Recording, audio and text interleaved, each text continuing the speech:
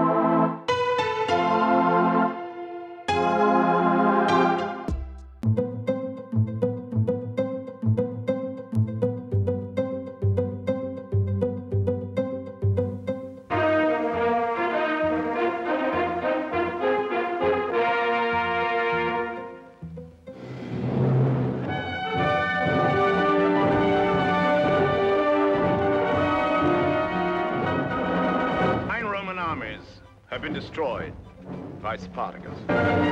Spartacus, a motion picture unequaled in the entire history of filmmaking, unlikely ever to be surpassed.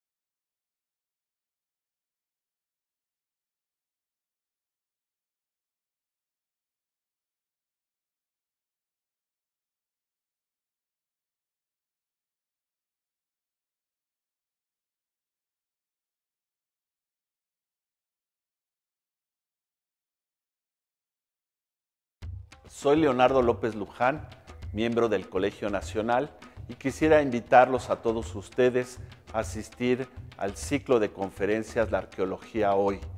Eh, para este año de 2020 hemos eh, preparado un riquísimo programa en el cual invitaremos a los protagonistas de la arqueología para que nos hablen de sus descubrimientos, no solo en México, sino en otras áreas como Guatemala, Perú y España.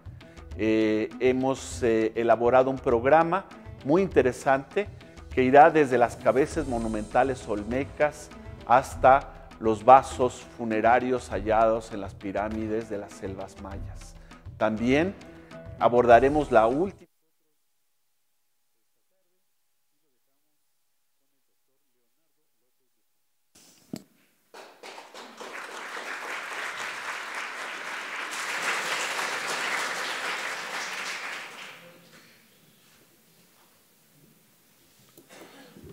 Muy buenas tardes tengan todos ustedes. Es un grandísimo gusto verlos nuevamente por aquí. Ya los extrañaba en esta bellísima aula mayor del Colegio Nacional.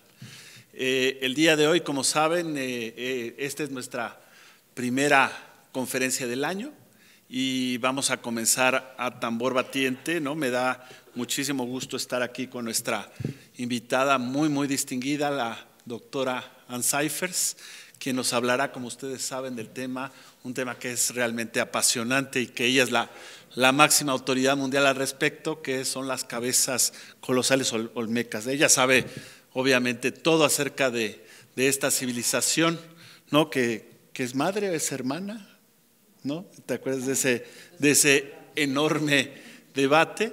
¿no? Ella es gran conocedora de ella, de, de, de los olmecas. Eh, pero antes de, comenzar, yo quisiera eh, eh, hablar de, varios temas. ¿no? por un lado, quisiera comentarles de cuatro, la existencia de cuatro exposiciones que han sido organizadas por el Templo Mayor, ¿no? E invitarlos ¿no? a que las visiten, ya sea presencialmente o de manera este, virtual.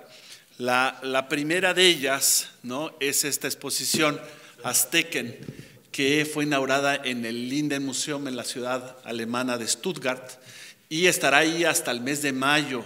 ¿no? Ya apareció el catálogo en alemán, en inglés, ya está, ya está disponible en Amazon. Si alguien se interesa por, por ese catálogo, es una exposición espléndida que fue eh, coordinada por nuestra amiga Doris Curella y en la cual participamos eh, Eduardo Matos Moctezuma, Raúl Barrera y un servidor. Eh, esta exposición eh, eh, en fechas sucesivas se presentará también en la ciudad de, de Viena, en Austria, y en la ciudad holandesa de Leiden. ¿no? Ha tenido un grandísimo, un grandísimo éxito. La segunda exposición ¿no? es, lleva por, por título Tetzahuetl, los presagios de la conquista de México. Y aquí no hay que viajar a Stuttgart, aquí es más fácil, nada más hay que ir aquí a Contraesquina al Museo del Templo Mayor. Es una, una exposición muy interesante que fue curada por Patricia Ledesma y por Guillermo Olivier, la primera eh, directora del Museo del Templo Mayor y el segundo investigador del Instituto de Investigaciones Históricas de, de, la UNAM. ¿no? Por cierto, ya apareció, como lo ven en pantalla, el número especial 89 de la revista Arqueología Mexicana, que tiene precisamente contribuciones de, los curadores, de, Berenice Alcántara, de Alfredo López Austin y otros, con respecto a este tema realmente apasionante que son los presagios de la conquista. Eh, muy pronto también aparecerá, eso me informan, bajo el sello de Lina, el catálogo, un libro ¿no? Eh, bellamente ilustrado y con precios como siempre accesibles, ¿no? Eh, el catálogo de la exposición. La tercera muestra es esta, Luz de Adentro, ofrenda al Templo Mayor, obra plástica de Fernando Aceves. ¿no? Ustedes saben, Fernando Aceves es un pintor que está ahora vecindado en la ciudad de Oaxaca, pero durante mucho tiempo ha, vivido él y se ha formado en París y ha estado presente no solo, no solo eh, en los talleres de, de, la capital francesa, sino que ha hecho mucha pintura de tema arqueológico, ¿no? Por mucho tiempo estuvo trabajando en Monte Albán y de manera significativa eh, estuvo pintando en, en, Angkor, donde eh, fundó un taller de, de, arte para enseñar a los cambodianos las técnicas que, que él eh, practica.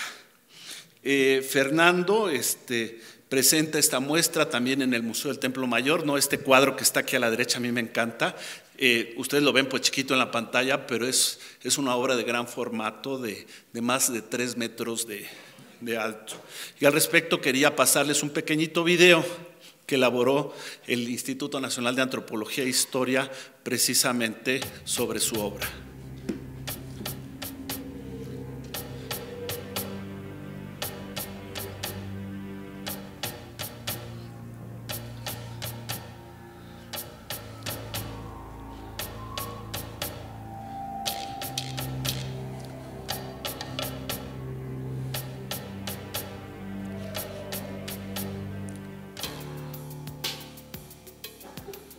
Siento muy contento de poder exponer en el Museo de Templo Mayor una serie de pinturas en pequeño formato y pinturas en gran formato eh, que son 10 años de trabajar con el equipo del doctor eh, Leonardo López Luján en las excavaciones del Templo Mayor.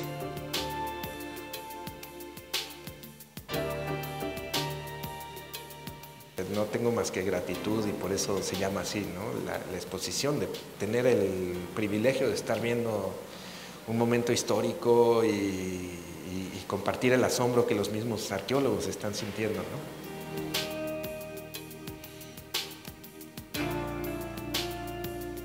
Es que esa fue muy especial porque la ofrenda estaba negada por un agua un poco fetida, pero muy transparente y estaba como a 6 metros de, del nivel del piso, ya estaba el manto freático, entonces el agua subía y bajaba unos 5 centímetros cada 15 segundos. Parecía que respiraba, ¿no?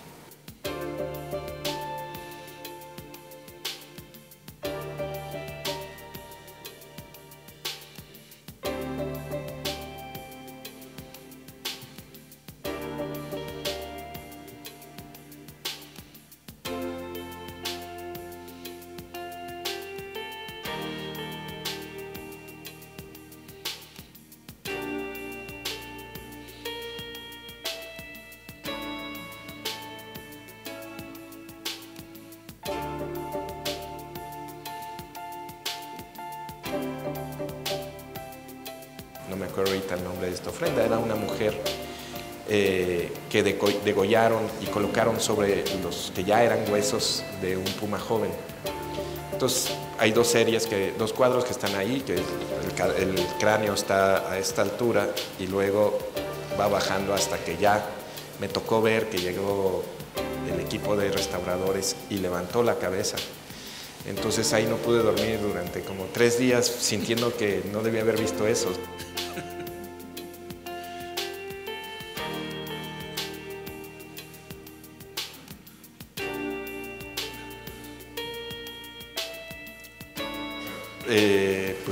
Pintando dos cuadros sobre ella, como que le rendo un, homenaje.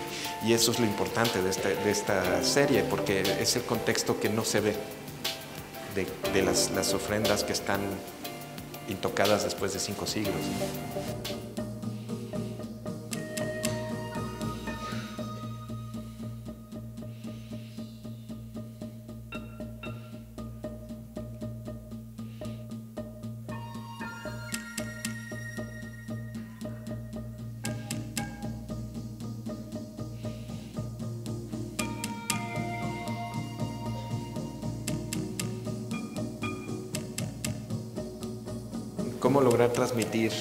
A través de mi oficio eh, un atisbo de lo que, de lo que estamos viendo.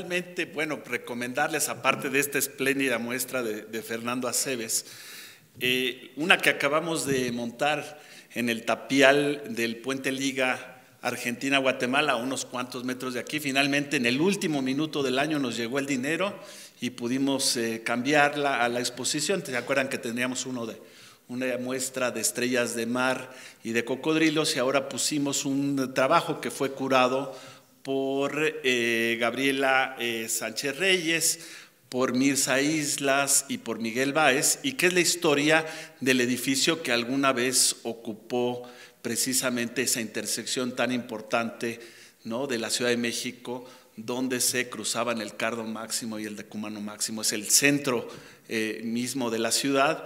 Y ahí pues nos, nos cuentan en esta muestra fotográfica ¿no? qué sucedió ahí a lo largo de los, de los siglos.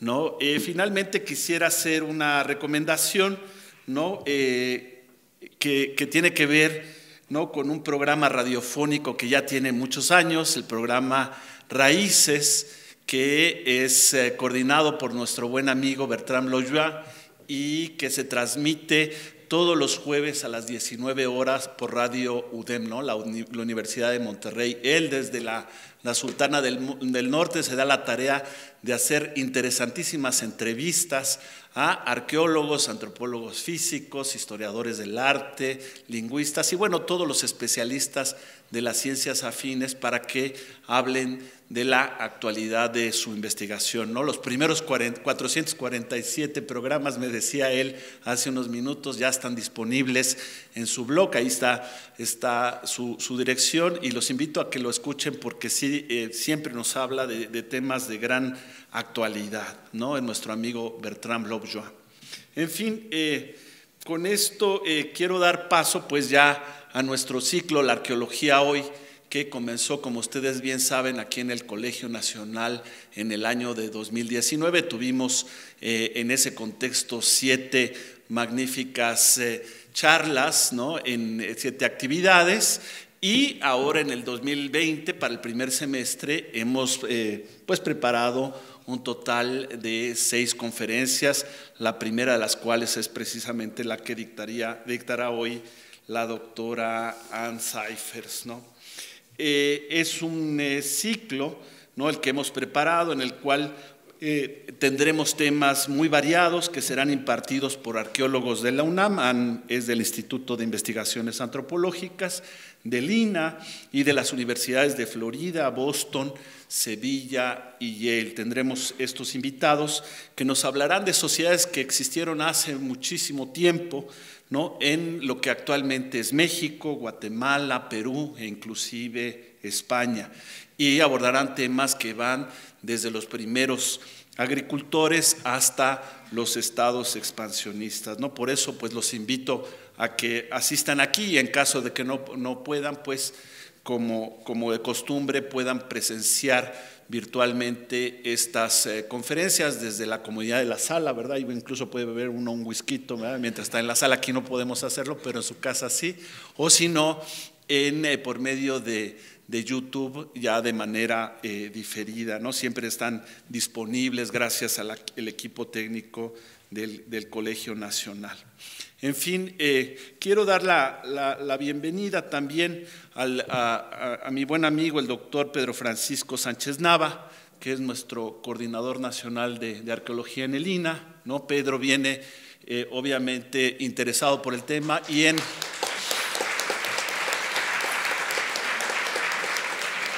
Y en representación de la secretaria de Cultura, la licenciada Alejandra Frausto. Eh, muy bienvenido, Pedro, me da mucho gusto verte. ¿no? También está eh, con nosotros aquí el día de hoy el maestro Gerardo Ramos, ¿no? Eh, que es director de la Escuela Nacional de Conservación, Restauración y Museografía, ¿no? que, como todos ustedes saben, se encuentra en Churubusco y, y sin duda es una de las escuelas líderes a nivel mundial en la enseñanza de todas esas materias. ¿no? Ahora, bajo la dirección de Gerardo, está viviendo ¿no? un, verdadero momento, ¿no? este, yo soy profesor ahí, un, momento de gloria diría, y, los egresados realmente son de altísimo nivel. ¿no? Este, con, con Gerardo hablaba eh, recientemente sobre la, la posibilidad de traer aquí muy pronto al Colegio Nacional a varios especialistas que laboran en Lencrim, allá en Churubusco, para que nos hablen precisamente de temas sobre, de, la, de la, conservación arqueológica. ¿no? Eso, eso platicábamos y pues muy bienvenido Gerardo. ¿no? Y no sé si ya llegó por aquí mi amiga la, arqueóloga Marcela Zapata, ¿no? este, eh, o, debe estar eh, por llegar. ¿no? Ella es directora del Centro de Investigación en Culturas de la Antigüedad de la Universidad de Anáhuac en el Campus Sur, donde están comenzando precisamente todo un programa de investigación y enseñanza de la arqueología. Ella encabeza el proyecto Magdala, ¿no? la misión mexicana que trabaja allá en Israel y que ha hecho descubrimientos realmente espectaculares. Entonces, ella al parecer ha aceptado estar aquí con nosotros hablando de ese proyecto Magdala eh, en el segundo semestre del año y vamos a, ver si podemos conjuntamente traer también al doctor eh, Guy eh, ¿no? que es precisamente uno de los máximos especialistas también allá de Israel, de la Universidad de Tel Aviv, y que trabaja ¿no? desde hace muchos años en otro sitio que es importantísimo, que todos ustedes han escuchado alguna vez, que es Masada. Entonces vamos a ver si logramos esa alianza Magdala-Masada y que venga una especialista mexicana y un, eh, arqueólogo eh, israelí. ¿no? Eso esperamos lograrlo también para el segundo semestre de este año. Y el comercial es, eh, antes de que se me olvide, es la, invitación para el próximo mes, esta es nuestra siguiente conferencia, que será impartido por un joven investigador que, ha alcanzado ya renombre mundial por sus descubrimientos en el norte de Perú, en, Trujillo, en la zona de Trujillo, específicamente en el sitio de Huanchaco, justo junto al mar, ¿no? La noticia de sus hallazgos han dado la vuelta al mundo y eh, el buen eh, Gabriel Prieto Burmester aceptó venir y estar aquí con nosotros el jueves 27 de febrero a las 18 horas como siempre, así es que los esperamos a todos por aquí para que escuchen sobre estos descubrimientos que son realmente espectaculares. Y pues pasemos al tema que, que va a tratar nuestra invitada, Ann Cyphers, ¿no? Quisiera, quisiera recibirla con un grandísimo aplauso, ¿no? A nuestra amiga Ann Cyphers. Ella, les leo muy rápidamente, Ann Cyphers es licenciada en antropología, magna cum laude, no cualquiera, ¿verdad? Por la Universidad de Illinois en donde fue discípula de ilustres maestros como David Grove y Donald Lathrop. Estudió la maestría en antropología en la Universidad de Wisconsin en Milwaukee bajo la dirección del reconocido arqueólogo Melvin Fowler y obtuvo el doctorado en historia con mención honorífica en la Universidad Nacional Autónoma de México.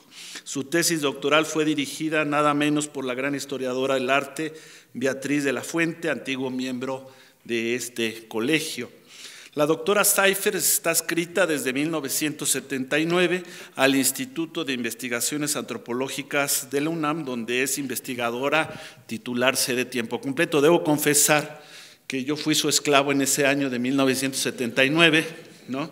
Yo lavaba y marcaba sus tepalcates, su cerámica, y, me quejaba porque no me, no me pagaba muy bien, ¿no? Todavía me lo sigue reclamando. ¿no? Em, explotaba ella un pobre adolescente, pero, pero aún así le tengo mucho cariño. Su, principal interés de la doctora Cyphers es el desarrollo de las más antiguas civilizaciones originarias de Mesoamérica, en particular, como les decía, la Olmeca. A partir de 1990, ella dirige una investigación sobre la primera capital olmeca, que es precisamente San Lorenzo. ¿Tú cómo le dices? ¿Tenochtitlan o Tenochtitlán? ¿Cómo, cómo se le debe decir? San Lorenzo nada más a secas. eh, gracias a, sus aportaciones en este campo, se ha logrado concebir con una mirada renovada a la arqueología olmeca en su conjunto. La doctora Seifers fue la primera mujer en encabezar un proyecto de investigación en este importante sitio del estado de Veracruz. Entre sus 11 libros científicos se pueden mencionar dos que han sido merecedores al premio Alfonso Caso de Lina, que es un, premio muy, muy prestigiado, obviamente en, nuestro campo. Uno de ellos es Asentamiento Prehispánico en San Lorenzo Tenochtitlán, ¿no? no sé cómo decirle, y Retos y Riesgos en la Vida Olmeca. Otros títulos importantes en, su obra son Las Capitales Olmecas de San Lorenzo y La Venta, ¿no? Transporte y producción artesanal en los albores del mundo olmeca. Uno que me gusta mucho su título es este, y las bellas teorías y los terribles hechos, controversias sobre los olmecas del preclásico inferior. Y sobre el tema de la conferencia de hoy, quería eh, recomendarles, por un lado, escultura Olmeca de San Lorenzo Tenochtitlan, que, que apareció bajo el sello de la UNAM, es un libro académico grueso y lleno de información.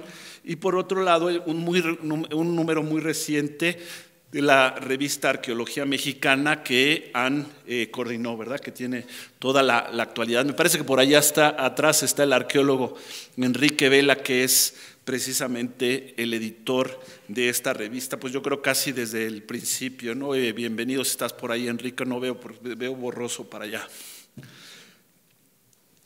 La doctora Cyphers pertenece al Sistema Nacional de Investigadores con el nivel 3, es miembro regular de la Academia Mexicana de Ciencia, ha impartido cursos en la UNAM, la ENA, la Universidad Veracruzana y la Sapienza de Roma.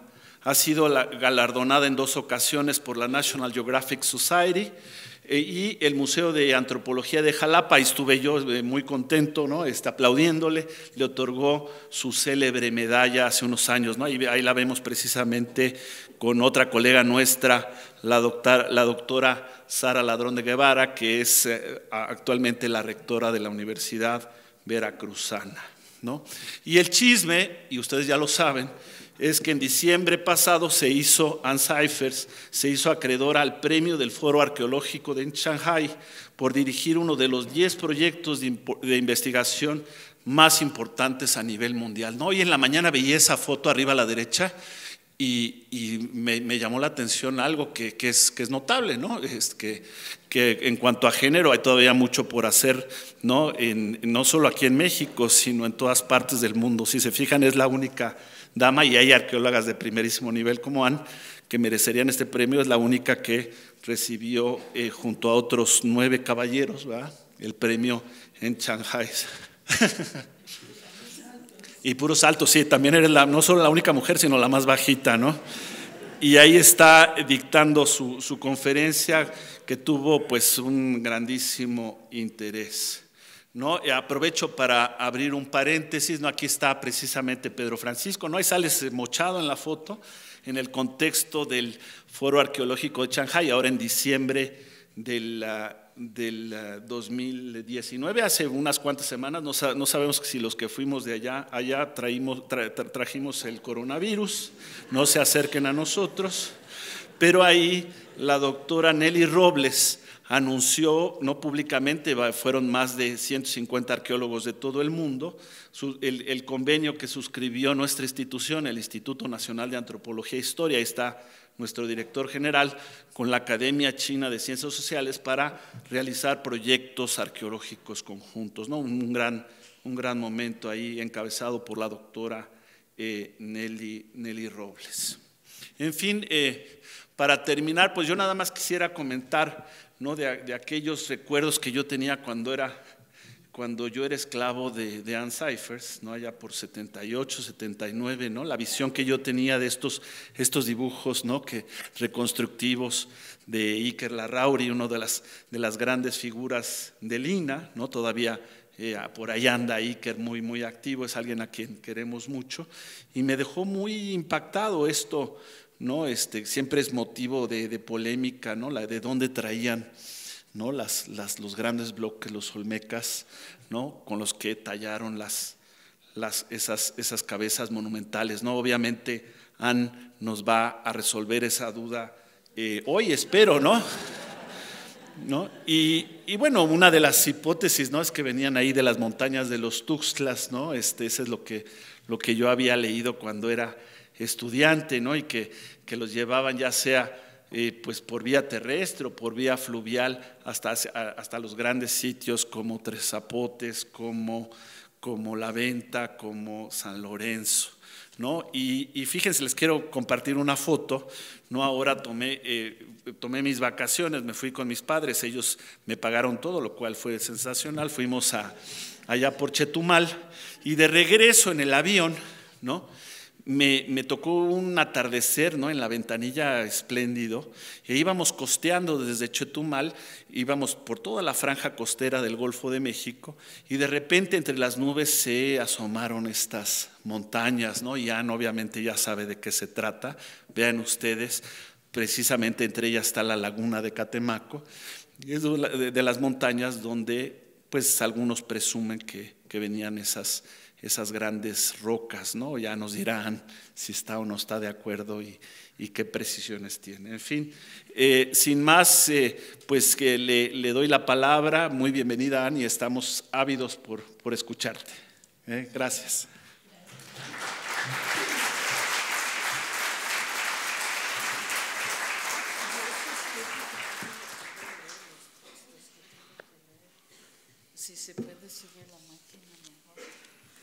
Bueno, muy buenas tardes. Eh, es un placer estar aquí en el Colegio Nacional y quiero agradecer al doctor Leonardo López Luján, ex esclavo mío, este, por haberme invitado. A lo mejor no voy a contestar todas sus preguntas, pero vamos a ver varias cosas interesantes. Gracias. Todo esto es necesario para que pueda ver. Bien, es un gran honor estar en el Colegio Nacional porque a lo mejor ustedes no saben que en este colegio han habido grandes investigadores que han trabajado la arqueología olmeca. Entonces quiero mostrarles esto, un poco de historia. También les sirve si quieren anotar este, bibliografía. Em, por supuesto, el doctor Ignacio Bernal, con su obra El mundo olmeca, que como esa obra nadie más ha podido hacer uno. Y miembro de aquí, estableció muchos puntos muy importantes sobre los olmecas. Por ejemplo, llamó la, la región olmeca la región metropolitana olmeca, con base en la distribución de grandes monumentos de piedra como las cabezas colosales. Alfonso Caso escribió este artículo, lo pueden bajar en línea. Existió un imperio olmeca, aunque hay quienes dirían que ya está muy fuera de moda, pero el doctor Caso marca la pauta de polémicas que todavía hoy día se discuten. Él cuando hablaba de un imperio, hablaba de objetos de estilo olmeca que se encontraban fuera de esta región donde están las grandes capitales, ¿no? San Lorenzo, La Venta, Tres Zapotes. Entonces lo veía como una manifestación de un imperio. Pero como... Ah, gracias. Y todavía se sigue debatiendo en una forma u, otra. También el doctor Bonifaz, eh, Rubén Bonifaz Nuño, que escribió sobre iconografía olmeca. Aquí un amigo muy querido, el doctor Matos, dejó un momentito el Templo Mayor, para este, escribir sobre la máscara olmeca que encontraron ahí. También el ex esclavo ha incursionado en los temas olmecas. con este trabajo sobre el hacha Humboldt. Pero sobre las cabezas colosales eh, hay tres miembros del Colegio Nacional que han hecho obras muy importantes. Como ya mencionó Leonardo, una de ellas es mi ex maestra, la doctora Beatriz de la Fuente. Aquí la ven porque tuvo que ir a San Lorenzo para ver in situ la cabeza colosal cuando la descubrimos, porque pues tiene varias obras sobre las cabezas colosales. El que sigue es el doctor Sadhu Khan. Y ustedes dirían, bueno, pero él es biólogo. Sí, es biólogo. Pero fue rector de la UNAM. Entonces, cuando descubrimos la cabeza colosal, nos aportó los fondos para terminar el museo comunitario en donde se albergó. Este museo comunitario se encuentra en Tenochtitlan, Veracruz. Entonces fue muy importante su aportación y fue a la inauguración y ha apoyado mucho las investigaciones en la zona olmeca. Y por último, el doctor Jaime Urrutia. Dirían ustedes, pero él es geofísico. Sí, es geofísico, pero nos ayudó con prospección. En esta transparencia ya muy vieja, pueden ver que en ese momento pues llevó aparatos muy sofisticados para hacer prospección en San Lorenzo. Con base en esa prospección se encontró la, la piedra más grande del sitio, que hasta el momento no sabemos cuántas toneladas pesa, pero es más de 30. Ha de ser como 40. Ellos han hecho grandes contribuciones a la, arqueología olmeca. Entonces, para mí es un súper honor estar aquí este, siguiendo sus pasos. El día de hoy quiero hablar de varios temas.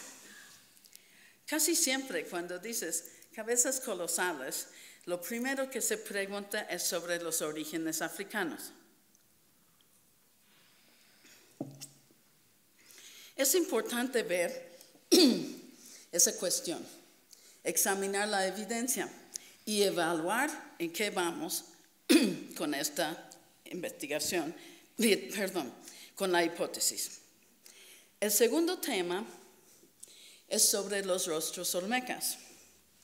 ¿Cuál es el look olmeca, el aspecto olmeca? ¿no? Y la tercera es sobre la modificación cráneo-facial, que tiene que ver con el punto 2, pero lo vamos a ver con un poco de detalle. Y por último, vamos a tocar el punto de reciclaje de monumentos y el propósito de reciclarlos, porque tiene mucho que ver con las cabezas colosales. Entonces, vamos a empezar. Esta hipótesis de orígenes africanos, a lo mejor algunos de ustedes saben quién, propuso esa hipótesis, pero es una cosa que está en todos lados, porque nada más se menciona cabeza colosal y surge el tema inmediatamente. La primera cabeza colosal fue encontrada en 1862 en Hueyapan, Veracruz. Esta es una foto del 39. Em, José María Melgari Serrano la fue a ver en 1862.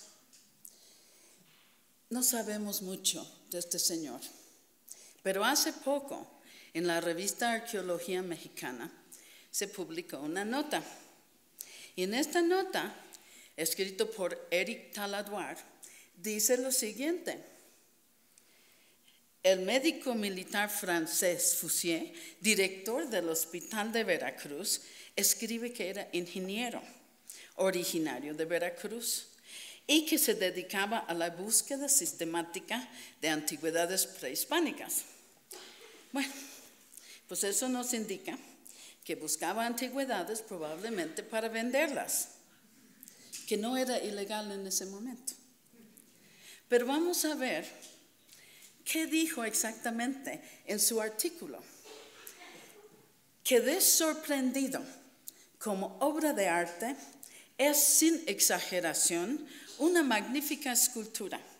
Lo que más me impresionó fue el tipo etiópico que representa. Reflexioné que indudablemente había habido negros en este país y esto había sido en los primeros tiempos del mundo. Bueno, con estas palabras desató la polémica que sigue hasta hoy día. Cuando vemos lo que escribió, llama la atención porque dijo tipo etiópico. porque no escogió otro grupo étnico de África para comparar la cabeza con ese grupo? Escogió a propósito etiópico. Tienen que entender, en ese momento no se sabía nada de Olmecas. Esto fue el primer hallazgo de Olmecas. Entonces era un descubrimiento aislado y este señor que era bastante educado, y conocedor, él no podía hacer referencia a otras culturas, otras piezas, otras esculturas de Mesoamérica, porque no había nada similar, ¿no? Entonces, él tenía que buscar asociaciones. Bueno, también yo pregunto que cuando empezó a escribir artículos, si no era propaganda, para ver si podía vender la cabeza. Pero obviamente este, nadie la quiso por, el peso y el tamaño, probablemente. Yo creo que en ese tiempo, mediados del siglo XIX, la gente tiene mucho, mucho interés en lo que pasaba en el resto del mundo. Entonces les llegaba un poco de información, poco a poco les llegaba de los viajeros. Em, pero también leían mucho la Biblia. Creo que en ese tiempo todo el mundo tenía, era el único libro que tenían en su casa, era la Biblia. Y una de las cosas que era muy prominente en sus mentes era la cuestión de los tribus perdidos que está mencionado en la Biblia. Que estos fueron diez tribus que salieron del antiguo Israel a raíz de la este, la conquista por el imperio neoasirio. En el año 722 a.C. Bueno, es importante fijarte en, ese, en esa fecha, porque las cabezas colosales ya existían, mucho antes de 722 a.C. Entonces no era posible que un tribu perdido pues haya hecho o haya sido la inspiración para esas, esas esculturas, ¿no? También en ese tiempo se difundía mucho eh, sobre eh, las campañas eh, de Napoleón en Egipto. Los grandes hallazgos de cuestiones arqueológicas que se hicieron, eh, trajeron a la luz cosas muy nuevas. Por ejemplo, arte de Nubia, como en esta imagen. Ven los egipcios y ven los nubios, que eran de piel muy oscuro. Yo pienso que Melgar y Serrano empezó a tratar de atar cabos quién sabe si ató todo bien, ¿no? Pero ató los cabos que él podía conseguir para estarlos atando. Entonces yo pienso que él ligó lo de los em, el tribu perdido, eh, los judíos de Abisinia, los Falasha, que era uno de los tribus, y el antiguo nombre de Etiopía, que era Abisinia. Entonces, los falasha como que salieron mucho a la luz a mediados del siglo XIX. Eh, eran muy promocionados, mucha literatura sobre los falasha. Y se supone que eran un grupo eh, de, de cuerpo corpulento y de color muy oscuro. Entonces, pues le quedó perfecto a Melgar y Serrano, aunque yo no sé cómo le vio el color negro a la cabeza colosal, porque se ve gris, ¿no? Eh, esta es una obra que se publicó más o menos en ese tiempo, que él andaba eh, viendo la cabeza por primera vez de un pastor que había sido prisionero político en Etiopía. Y tiene unos dibujos muy bonitos, lo pueden bajar también en este, el Internet Archive. Pueden ver, aquí está el pastor y está dando ese sermón a los falasha y pueden notar que los representan como gente de color oscuro. Pues yo creo que ató estos cabos Melgar y Serrano. Entonces por eso dijo, un tipo de Etiopía, de, etiópico, por todas estas cosas que conjugaron en ese momento, que obviamente no tenía toda la información. Pero lo que hizo fue empezar las polémicas muy grandes de los Olmecas, que uno de ellos fue los orígenes en África y el otro fue las migraciones transoceánicas, que es parte de toda esta cuestión de los tribus perdidos. Entonces yo creo que vale la pena ver, ¿no? ¿Qué hay de esto? De las migraciones, de los orígenes africanos. Cuando tenemos una hipótesis, tenemos que buscar evidencia, evidencia que la comprueba o hace que la rechacemos. Em, en el caso de esta hipótesis de Melgar y Serrano, em, tenemos que buscar la evidencia que es adecuada. Melgar no tenía evidencia, él tenía una idea. Él hizo comparaciones y ató cabos, como digo, que quién sabe si los ató bien, y no tenía una base científica. Para las migraciones africanas, tenemos que ver en los sitios olmecas si hay objetos importados de África. Es lo más lógico, porque si vinieron de África, pues tenían que haber traído algo. Entonces, les voy a decir que hay muchos métodos, los que son arqueólogos los conocen perfectamente bien. hay como activación neutrónica, este, fluorescencia, eh, masas y gases, espectrometría, eh, microscopio de barrido y todo lo demás. Y se han hecho estudios de, este, de estos tipos en la zona olmeca. ¿Cuántos artefactos importados de África han encontrado? Cero. Entonces, la evidencia de importaciones no apoya la hipótesis de Melgar. Pero también hay otra manera de examinar esta hipótesis, porque si gente vino de África, entonces su ADN tenía que quedar aquí. Entonces, para hacer este tipo de estudio, tienes que tener, en primer lugar, entierros olmecas, que durante muchos años no se encontraban. Y cuando se encontraban estaban en muy mal estado porque el trópico húmedo no es muy favorable para la preservación de hueso. Pero afortunadamente en San Lorenzo encontramos entierros olmecas y se hizo un estudio del ADN.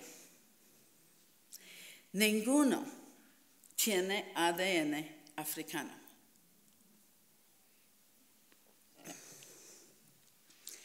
Vamos a ver qué escribió Enrique Villamar, que es la persona, el antropólogo físico que lleva a cabo este estudio. Publicó artículos en, Arqueología Mexicana, si quieren este, buscar la referencia, en, la revista que mostró mi ex esclavo en la pantalla. Enrique Villamar eh, está trabajando con la doctora eh, Lourdes Muñoz de Cinestado en su laboratorio de ADN. El estudio pionero de ADN mitocondrial realizado a individuos olmecas dio por resultado la presencia inequívoca de las mutaciones distintivas del linaje materno. A.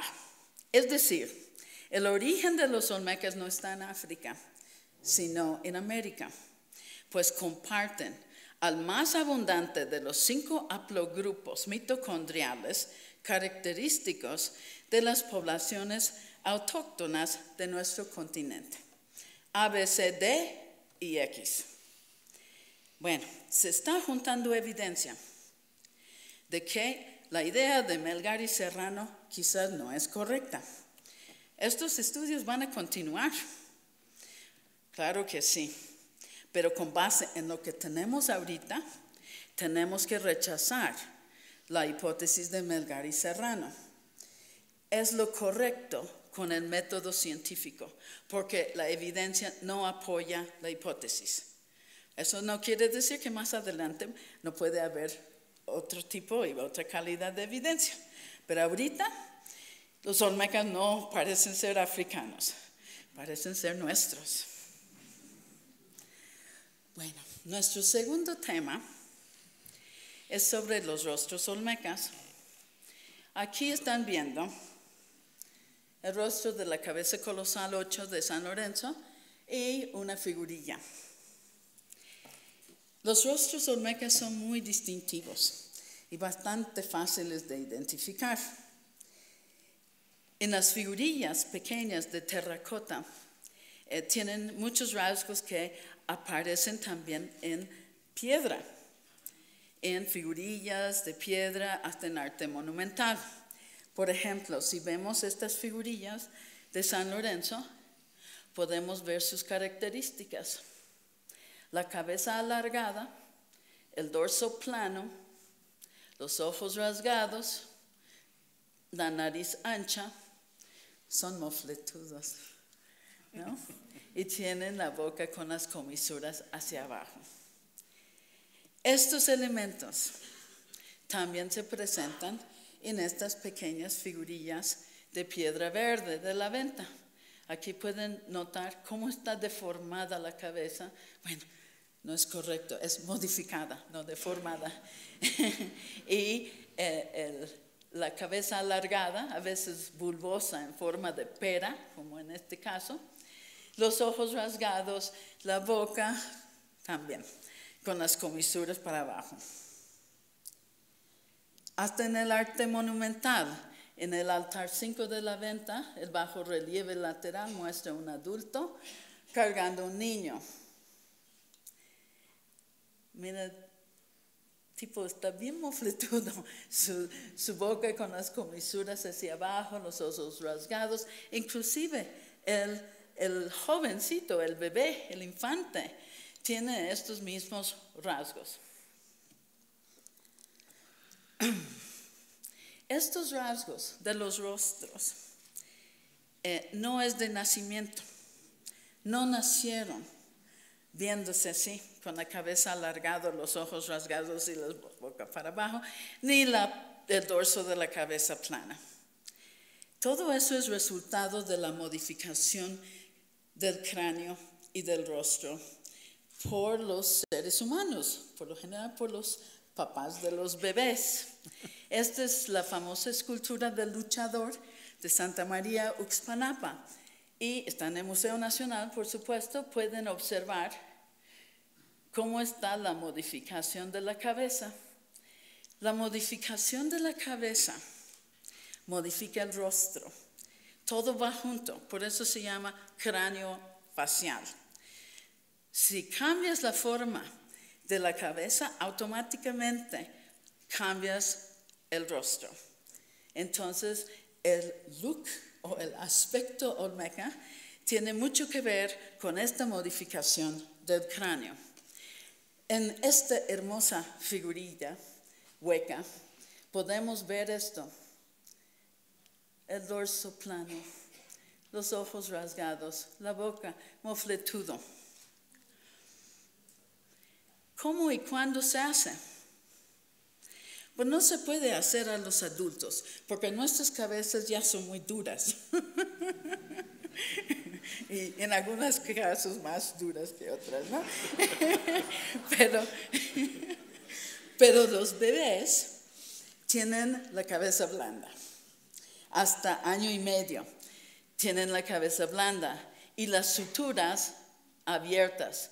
Los huesos son fácilmente moldeables. Toda esa sutura es lo que se llama eh, la mollera, ¿no? Y se va cerrando, los huesos se van endureciendo, entonces ya no es posible modificar la cabeza después de eso, hasta año y medio, cuando mucho.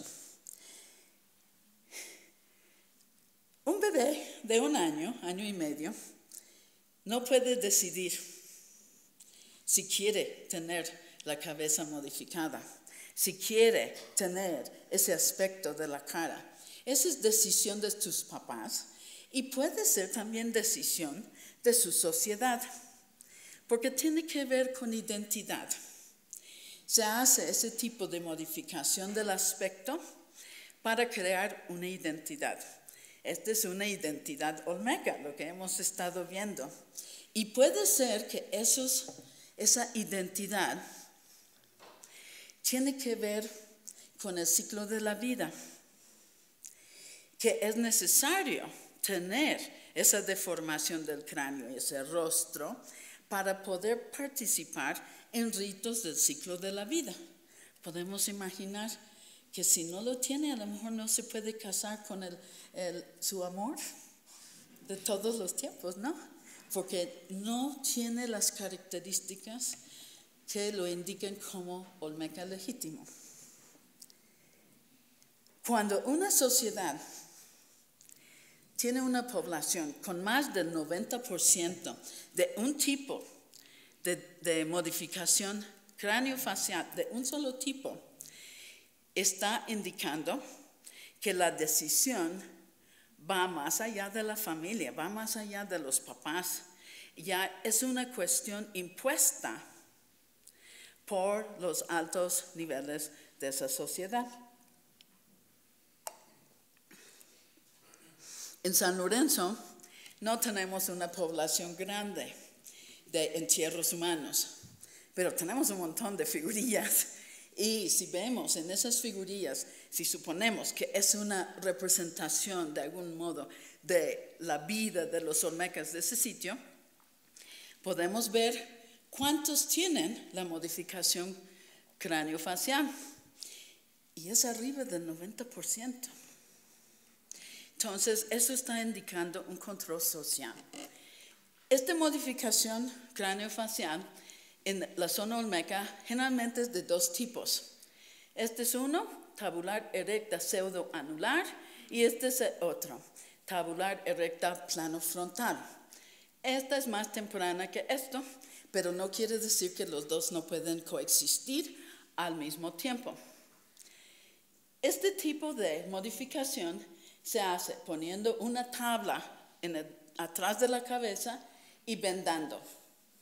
Eso hace que el cráneo crezca para arriba, como en este cráneo, y a la vez te modifica la cara. En plano frontal es una tabla atrás para crear ese lado, el dorso plano que les gusta tanto, y una tabla sobre frente.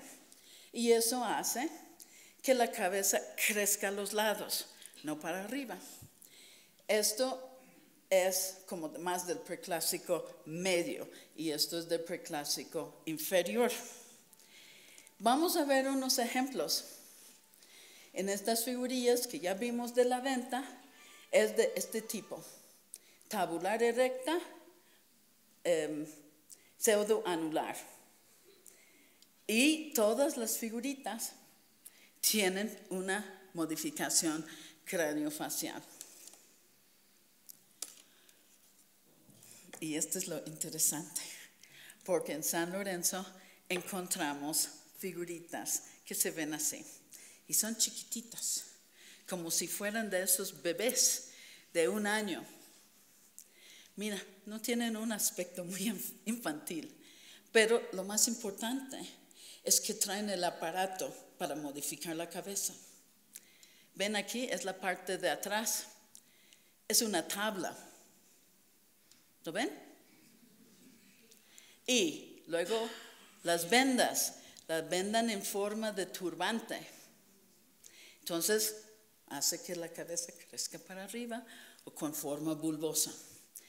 Pues estas figurillas viajaban, porque cuando Alfonso Caso veía que, pensó que eh, los olmecas eran un imperio, porque veía elementos olmecas, por ejemplo, en el altiplano. En altiplano hay figurillas que tienen un aspecto olmeca, aunque no son idénticos, idénticas a las figurillas de la costa del Golfo. Es como si esas poblaciones, por tener relaciones comerciales y sociales con los olmecas, querían verse igual. Entonces, este tipo de figurillas viajaba de la costa del Golfo al altiplano y quién sabe cuántos otros lugares para que ellos vieran cómo hacer la modificación craneofacial a los bebés. Pero un secreto, en estos lugares lejanos de la zona olmeca, la gente no ponía estos ojos rasgados, ponía sus ojos de la tradición local. Entonces, por eso era tanta la confusión si una figurilla X era olmeca o no, porque los ojos se veían locales, pero el resto se veía olmeca. Era su manera de decir que tenían afinidad con los olmecas, pero seguían siendo de su pueblo. Muy interesante la, la modificación craneofacial. En la máscara de Pacal, plano frontal, aquí está el plano frontal que se abre a los lados, y en esta figurilla pueden ver que aunque tenga el adorno aquí, frente está inclinada, el dorso está plano. Este es el preclásico medio, obviamente. Bueno, a esto vinieron, ¿no? A las cabezas colosales.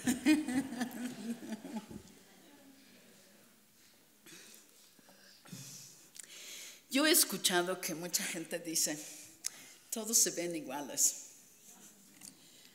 Pero no es cierto, ¿verdad? Son tan diferentes como las caras que estoy viendo enfrente. Son personajes y se han interpretado de 20 mil maneras también, aparte de lo africano. Se han interpretado como dioses de la vegetación, el casco, eh, como guerreros, eh, pero la, aparte de todas estas interpretaciones que realmente mm, se basan en la forma de los tocados, creo que la, la explicación más coherente es la interpretación que son retratos de los gobernantes. ¿Quién más podía hacer su retrato de forma colosal? ¿Quién más tenía los recursos para hacer algo tan grande y moverlo que ya dijo mi ex esclavo, desde la zona de los Tuxtlas hasta las capitales olmecas. Entonces, son retratos de gobernantes y los gobernantes tenían que financiarlos, su hechura y la traída de la piedra. Tienen características repetitivas, recurrentes, ¿no? Su forma prismática, em, y el estrabismo bilateral convergente, que es una manera muy acá de decir que son viscos.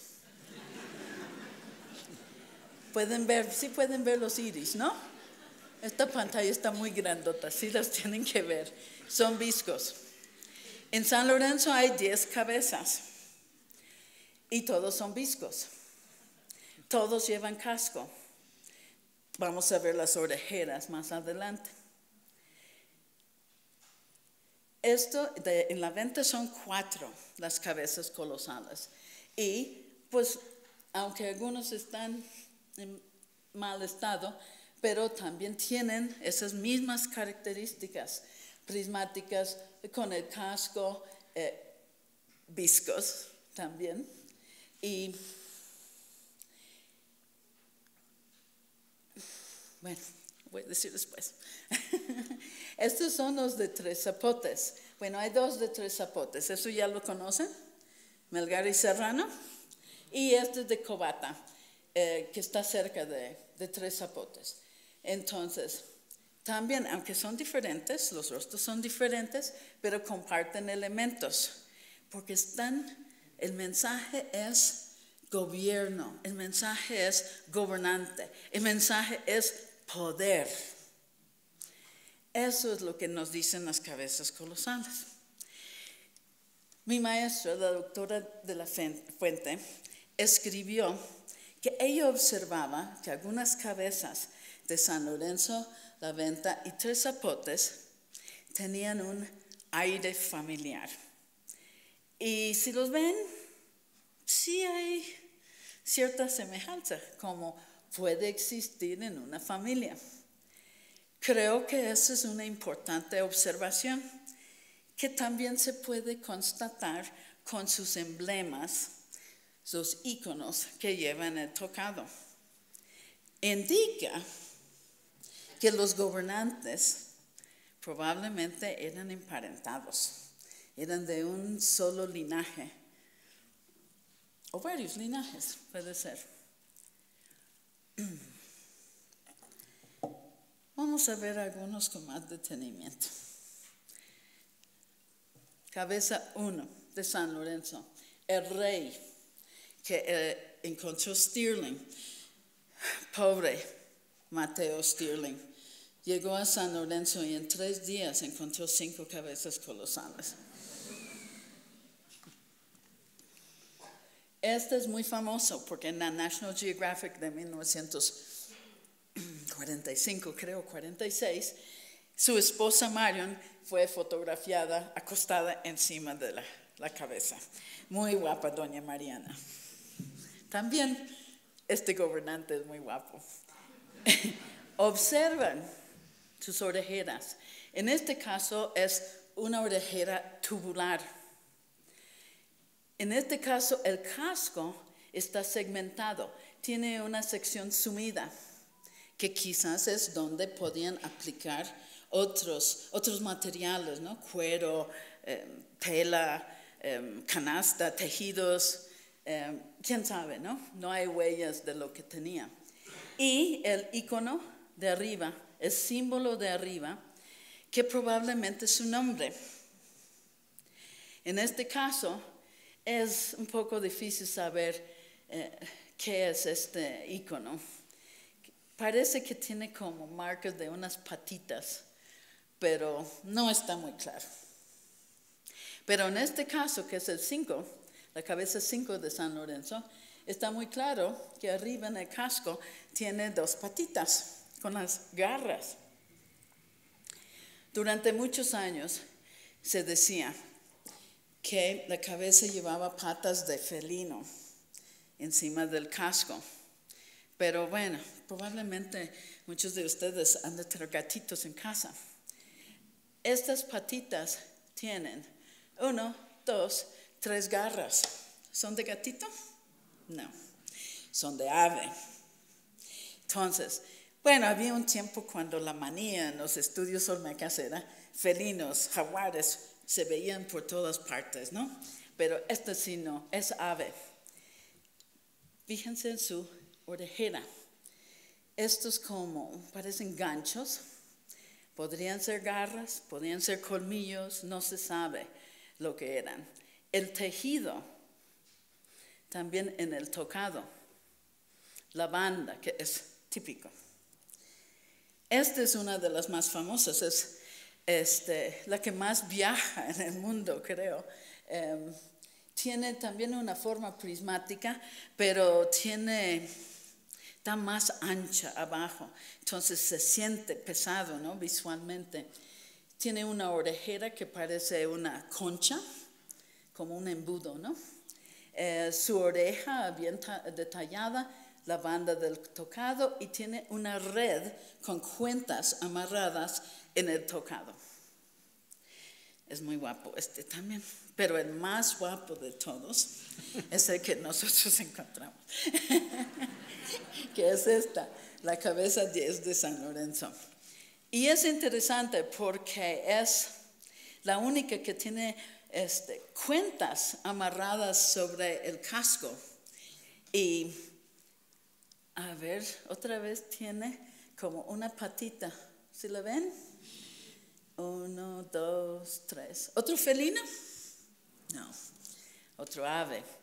En este caso tiene la orejera redonda, que probablemente estos eh, adornos eran de piedras verdes, porque sí se han encontrado este, en las excavaciones. En este de la venta, creo que no tengo que repetir todas estas características, ya se lo saben de memoria. Pasen, porque les voy a hacer un examen al final de la conferencia. Quiero que se fijen en el tocado. Está dañado de este lado, pero se alcanzan a apreciar uno, dos, tres garras. Ave, de nuevo. Quizás se vea un poquito más claro en el dibujo de arqueología mexicana. Esta es otra de la venta. Tiene los dientes visibles y estos dientes están redondeados, están modificados, las afilaron, ha de haber sido divertido. En el tocado tenemos uno, dos, tres garras, otra ave. Aquí por atrás está como mejor preservado este, el tocado con las bandas y estos elementos que forman la parte superior eh, del tocado. Nosotros vamos a tratar de ir este, atando cabos, también como Melgar.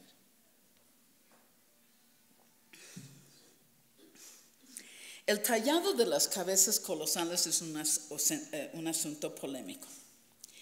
Pero, mira, Melgar vio la primera en 1862. Luego, Blom y Lafarge vieron los de la venta en 1925. Y después de eso, fueron saliendo poco a poco más y más y más. A través de un siglo o más. Entonces, se pueden imaginar que nada más son 17 cabezas colosales. Y es sin duda el artefacto más popular de la cultura olmeca, que interesa a más gente. Entonces, todo el mundo las ha visto, las ha examinado, las ha estudiado, pero no vieron todo. A fin de los ochentas, un, creo que era joven en ese tiempo, James Porter, vio dos cabezas de San Lorenzo y se quedó de seis. Dijo, ¿qué es esto? Veo el tocado, están se ven como maltratadas estas cabezas, ¿no? Pero se ve el tocado, se ve un icono de, de este, ah, zoomorfa, oreja, orejera, y dijo, ¿qué es esto? Este es un arco hundido en el lado derecho de la cabeza. Entonces dijo, pues esto no va ni con el tocado, no va con la oreja, no va con la orejera. ¿Qué cosa puede ser?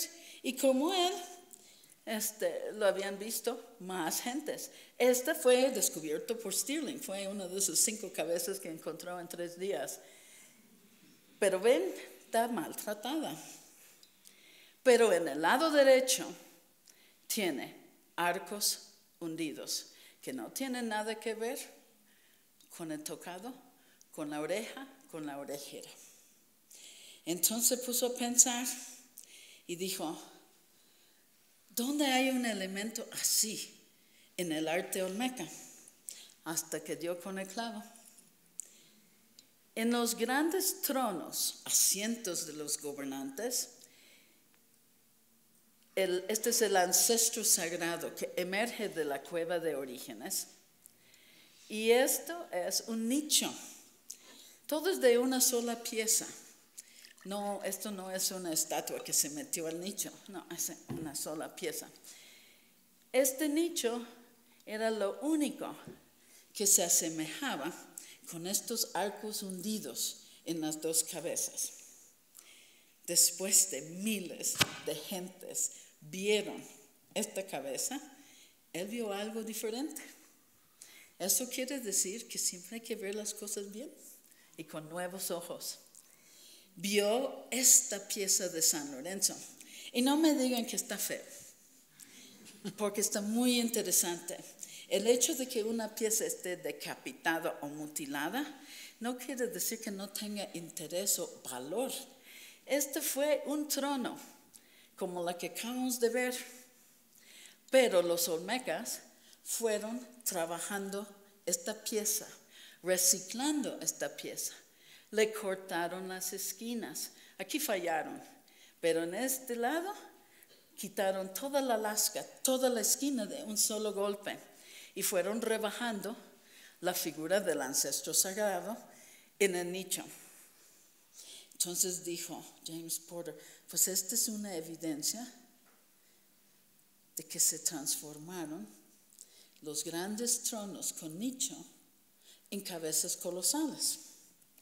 Entonces, esta es la secuencia que él propuso y yo estoy totalmente de acuerdo con él. Este es trono como se usaba, como asiento de los gobernantes, quitando, rebajando la forma para darle una forma prismática pero sin salientes, para que se pudiera trabajar, tallar de nuevo. Mira, aquí están nuestros arcos. ¿Mm? Este arco. Y trabajando, trabajando, se reciclaba esta pieza o algo similar para hacer la cabeza colosal. Porter vio que este proceso de reciclaje de trono a cabeza podría haberse hecho a la muerte de un gobernante que se tomaba su trono y se convertía en su retrato a su muerte. Esta es una posibilidad. Otra posibilidad es que fueron dejando los tronos y en algún momento dado empezaron a hacer retratos de los gobernantes ancestrales. Bueno, Stirling cuando encontró las cabezas dijo, el dorso plano probablemente es porque se ponían junto a una pared, ¿no? Como, como buen decorador de interiores, ¿no? Se pone junto a la pared. Pero ahora con base en este reciclaje que vimos y ahora sabemos que ese dorso plano no tiene que ver con una pared, tiene que ver con el fondo, la base del trono, que es plano y pulido. Entonces se voltea, se empieza a trabajar y esto se queda como otro remanente del trono. James Porter, mis respetos. Em, creo que a la vez el hecho de dejar el dorso plano tiene que ver con una, una referencia a la modificación craneofacial, porque hemos visto que les, les gustaba el look con la cabeza plana atrás, ¿no? Entonces puede ser uno de los motivos de dejar esa superficie plana. Otra puede ser que lo que querían de los tronos era aprovechar al máximo la piedra. Entonces, hacer el retrato del gobernante lo más grande posible. Entonces, pues se deja el dorso. Algunas de las cabezas en el dorso tienen un relieve espectacular que se trabajó sobre la base pulida original del trono. Ya cuando vayan a Jalapo, al Museo Nacional, busquen ese detalle.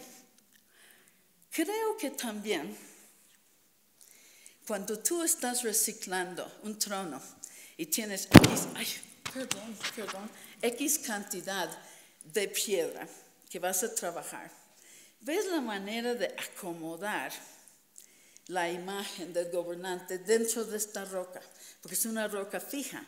No le puedes poner pegostes, tiene que ser una sola pieza. Entonces yo pienso que a lo mejor las facciones de las cabezas en parte tiene que ver con como una especie de compresión de elementos para que todo se acomodara en ese bloque prismático. Porque ninguna cabeza tiene salientes, aunque los tocados que usaban probablemente tenían este, muchos adornos este, muy grandes y salidos y todo, pero las cabezas colosales todo está pegado dentro de ese bloque. Bueno, entonces, ¿para qué? ¿Para qué reciclar? Porter decía cómo, para conmemorar al gobernante, ¿no? Con su retrato. En San Lorenzo vemos que las cabezas se agrupan en dos partes, la parte norte y la parte sur. Y están más o menos alineados, tienen que entender que han pasado tres mil años o más y con el deterioro del sitio, este, estos monumentos se fueron, en muchos casos, no en todos, cayéndose a las barrancas. Pero aunque se cayeron, no se movieron mucho, porque son tan grandes. Entonces quedaron posicionados en forma lineal. Pero la parte norte es donde está ese trono que, que estaba en reciclaje y están las cabezas que tienen las hendiduras y otra más que no está terminada. Entonces la parte norte del sitio es el área de reciclaje de monumentos grandes. Es un taller de reciclaje. Nosotros nos creemos este, muy inteligentes porque reciclamos las latas de aluminio. Esto sí es reciclaje. Pero en la parte sur empezaban a poner en línea los retratos ancestrales. Y estos, estas líneas corrían al lado de una plaza que existía en ese tiempo. Entonces, para eventos públicos, que se hacía con la población del lugar y de afuera, llega, imagínense, llegar a esa plaza y estar rodeado con colosales imágenes de gobernantes ancestrales. Es muy impactante. En la venta era un poco diferente, esto es después que San Lorenzo. Pusieron tres cabezas colosales aquí en el extremo norte del centro ceremonial, pero estos también gobernantes ancestrales, porque aquí está el recinto funerario de los gobernantes de la venta. ¿Y qué mejor? Poner los ancestros también en el lado norte, que es el lado de la muerte y del frío. Había una, que es esta, que estaba en medio de la plaza. Bueno, para terminar, ¿Estoy bien de tiempo? Para terminar, les voy a contar la historia de Tiburcio. Hace muchos años, en 1994, un señor que vive en el pueblo me llegó y me dijo, Doña Ana, así me dicen allá, Doña Ana, bajé a la barranca del Ojochi buscando achote para el popo, la bebida de chocolate de ellos. Pero en eso que estaba buscando el achote vi una piedra. Tienen que entender, San Lorenzo es pura tierra.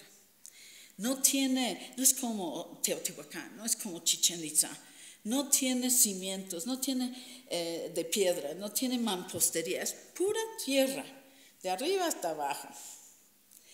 Entonces cuando los habitantes dicen, hay una piedra, están hablando de una escultura, porque es una roca dura que no se ve normalmente en la tierra.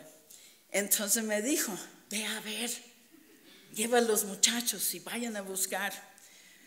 Bueno, a lo largo de los años siempre hemos consentido a los habitantes porque hay muchos relatos en el pueblo, ¿no? Ay, que mi abuelo encontró una figura de una mujer moliendo cerca de un platanal.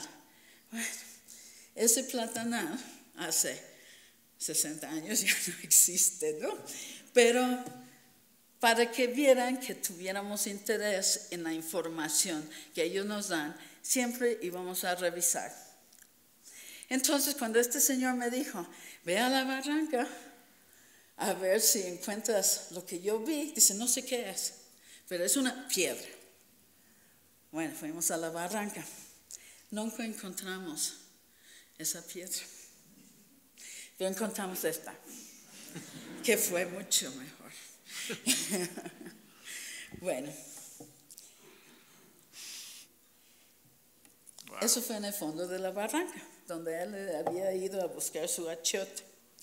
Entonces fue excavando, aunque obviamente esta pieza está caída, la barranca no está en un contexto original de la cultura olmeca.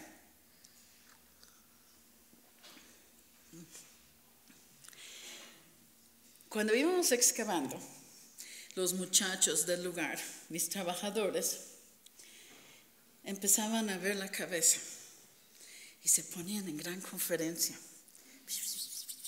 Digo, ¿de qué hablan? Cuéntame, ¿qué le ven? Es que se parece a un señor que conocemos. Me encantó porque estaban reconociendo que eres un retrato de una persona. Digo, ¿y ese señor cómo se llama? Dice, le decimos el gorigote. Digo, ¿qué? ¿Qué tipo de nombre es eso? Es su apodo, doña Ana. Es su apodo. Le digo, ¿y cómo se llama el señor? Se llama Tiburcio Santos. Digo, ¿y de verdad se parece a, a don Tiburcio Santos? Sí, sí, sí, idéntico.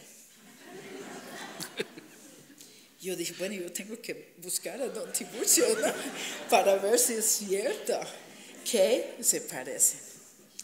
Y busqué y pregunté y no vivía en el pueblo. Y nadie sabía dónde estaba.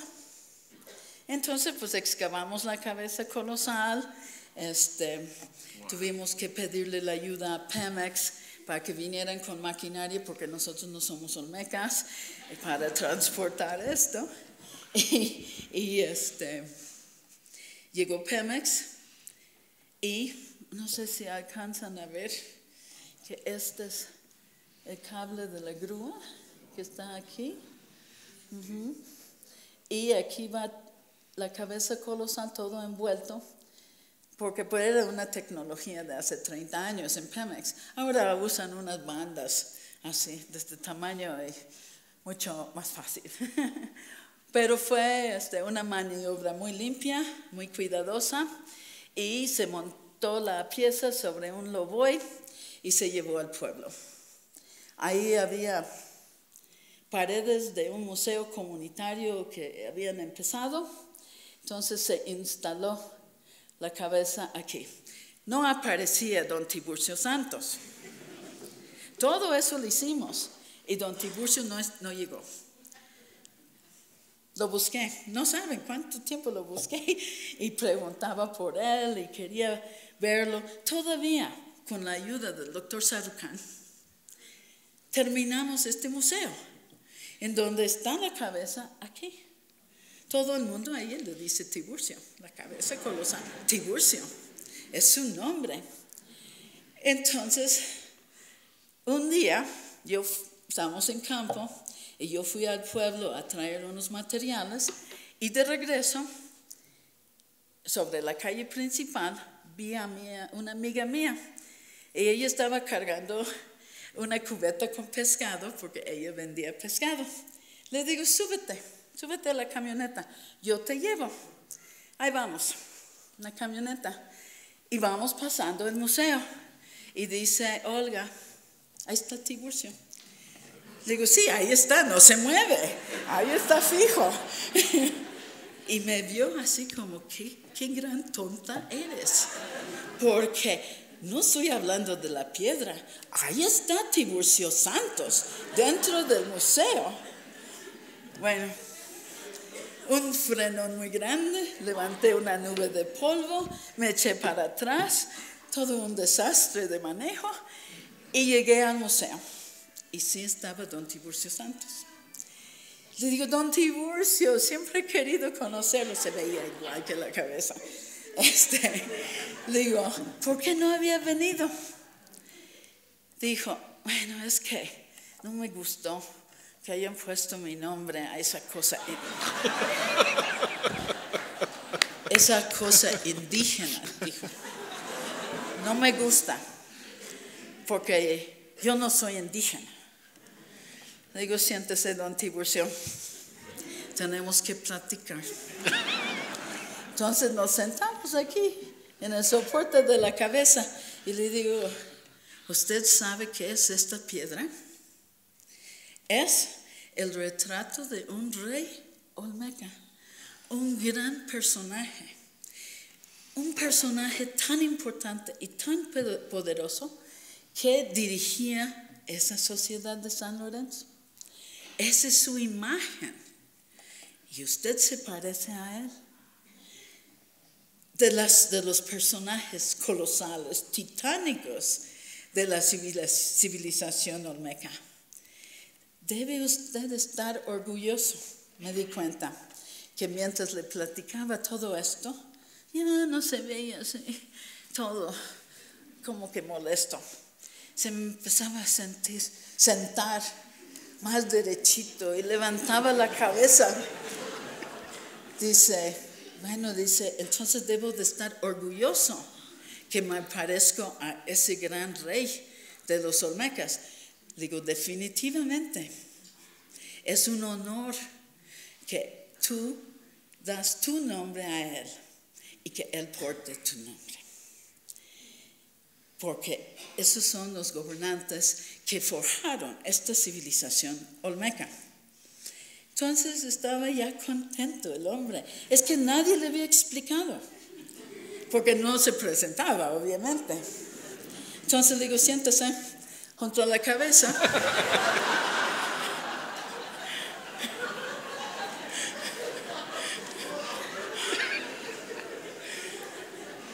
Porque hay que constatar el parecido. Y me contaron después que él regresó a su pueblo, que creo que le pagaban este, para que le sacaran fotos como imagen de un gobernante olmeca. Para terminar, les muestro unas imágenes de esculturas olmecas muy bellas de San Lorenzo. Y les quiero dar las gracias por su atención. Muchas gracias.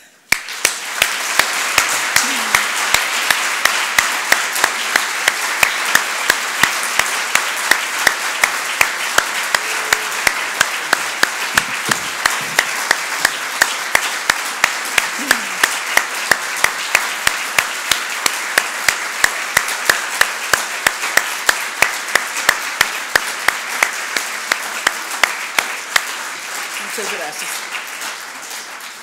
Entonces, ¿ahora qué? Tengo Vente para que acá, ir sí. allá. Vente. Bueno, ahí voy. ¿Sí? Ok. Es que dejé algo, ¿no? Bueno. Gracias. ¿Escuchaste el aplauso? Es que tenemos...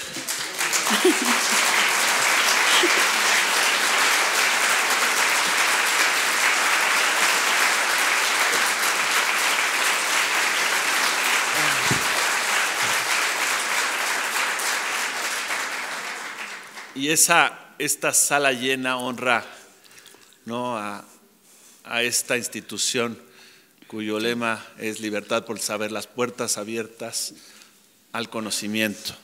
¿no? Hemos escuchado una magnífica y muy divertida charla por parte de, de la doctora Ann Seifers y quería comentar, bueno, este, no solo la sala está llena, sino que en internet eh, llegamos a 210 espectadores que te escriben para hacer comentarios. Ernesto Rivera, como siempre, ampliando el espectro cultural y científico con sus conferencias, te dicen.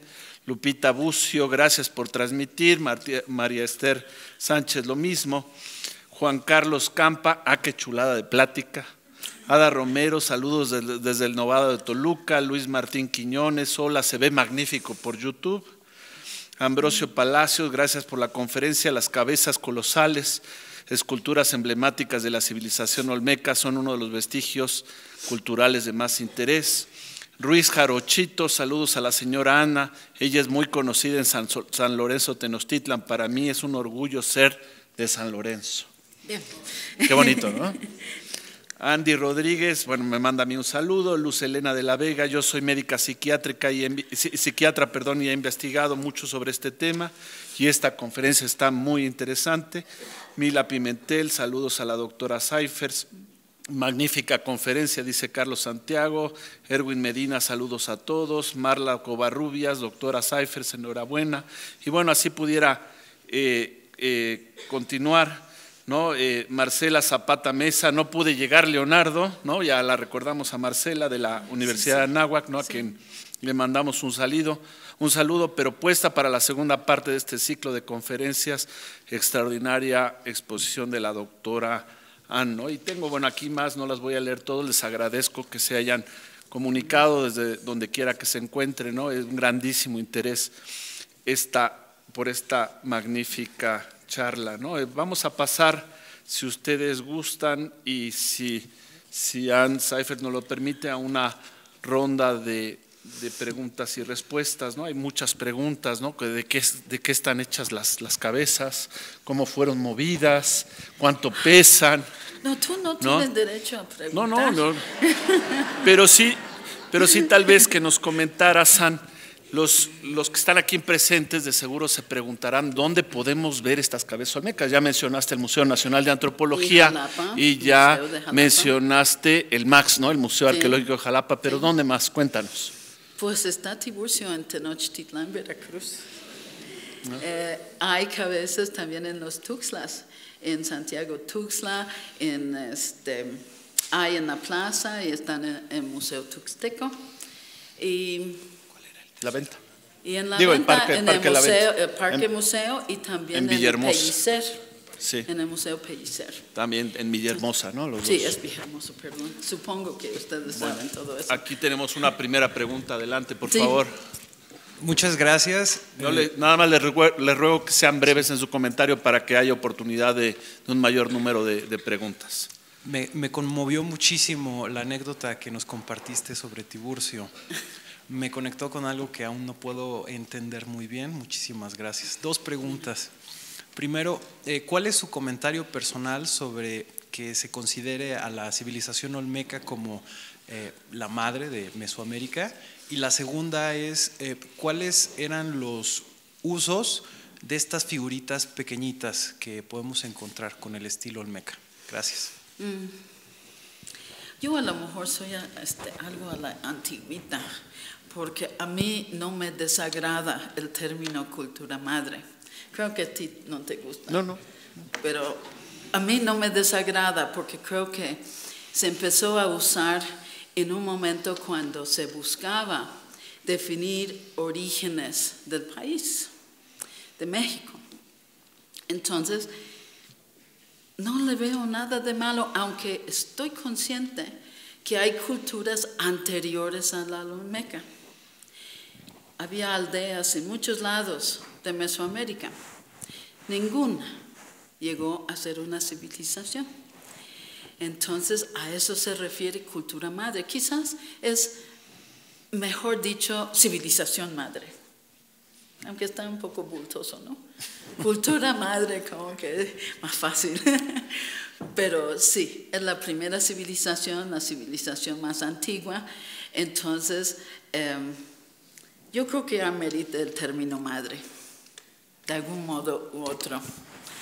No me desagrada, pero no me voy a pelear con ustedes si lo quieren llamar otra cosa. Eh, y la segunda parte es sobre las figuritas, ¿no? ¿Para qué uso? Depende en dónde, depende en qué sitio, en qué región, porque creo que las figuritas no hay que asumir que siempre se usaban de la misma manera.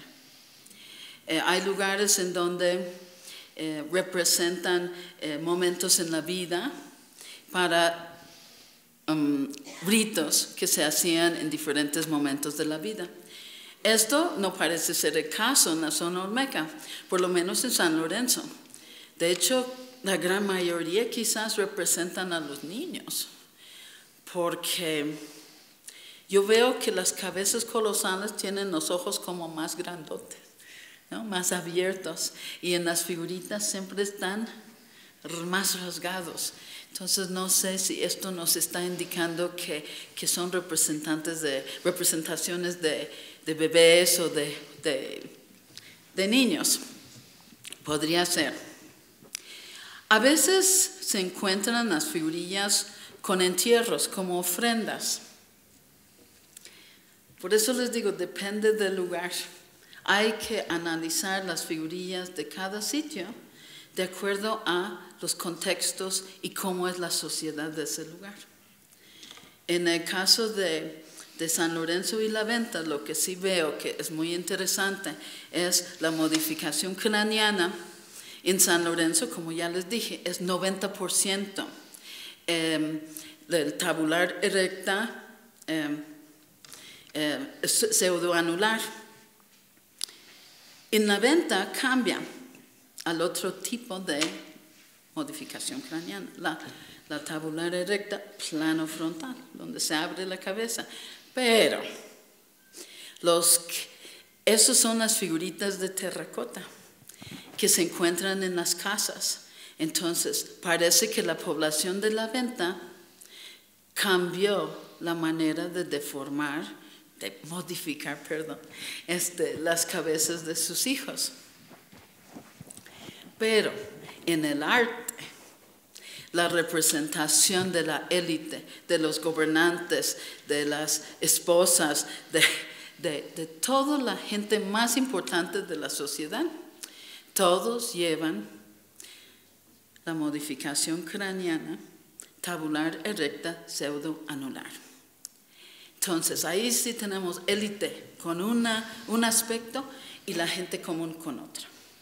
Claro, falta tener los entierros para comprobar lo que se está viendo en las figuritas, pero una primera hipótesis podría ser que la élite usaba la modificación craneana más antigua, más ancestral, porque ellos siempre querían legitimarse como gobernantes, como élite, con su derecho a tener toda esa riqueza y ese poder.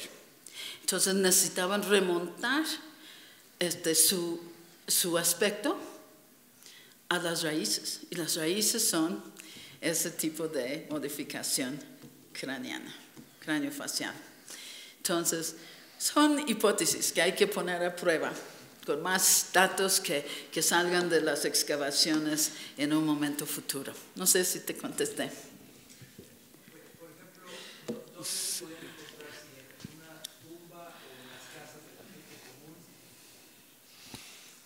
¿Cómo? Sí, esas figuritas, Ajá. si la, eh, la gente las tenía en sus casas, en sus cuartos. Terminaban en los basureros. Muchos terminaban en basureros. Los que no estaban, bueno, en el altiplano central eh, se colocaban mucho con, con, en, en contexto funerario, pero en muchos otros sitios pues los usaron en ritos, quizás en el ámbito doméstico, y luego se fueron a la basura. Y ahí se encuentran despedazados, Ahí tú. descapitados. ¿eh? Ahí las encuentras tú, Pues, en los basureros. Sí, a veces. ¿Por qué? ¿Por qué te ríes de mí? ¿Qué no, dije? No, no. Comentarte que aquí en el público está con nosotros tu colega del Instituto de Investigaciones Antropológicas, la doctora Nick Daniels, que es una de las grandes también especialistas, no, sé veo. por, allá está, mira, Hola, Nick. grandes especialistas también en las culturas de- del Golfo de México. Y nos acompañan, allá los veo, nuestros amigos Nieves y Sergio Trey de Arqueología Ah, los Mexicana, quienes debemos tanto por su contribución a, a difundir la- los, los conocimientos de la arqueología mexicana. Eh, por allá tenemos otra pregunta. Doctora, muchas gracias por su magnífica plática. Gracias. Eh, hace poco visité la venta y el guía nos comentaba, bueno, nos explicaba algunos rasgos de estas cabezas colosales. Yo me quedé con la información de que eh, lo- la forma de los ojos era precisamente porque adoraban al jaguar y que aparte, como mencionaba, eh, los pobladores de esa zona tienen esos ojos felinos. Y eh, la forma de los labios nos comentaban que era como la forma de dos serpientes besándose, que ¿Qué? también de dos ser- de la cabeza de dos serpientes besándose, y que por eso era la forma de, de los labios eh, gruesos y también porque ellos adoraban a, a la serpiente. Entonces, ¿usted qué podría mencionar al respecto? Gracias. Um,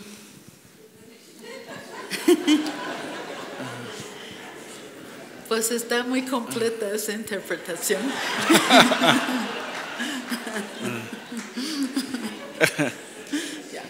Por, a- por allá atrás, otra.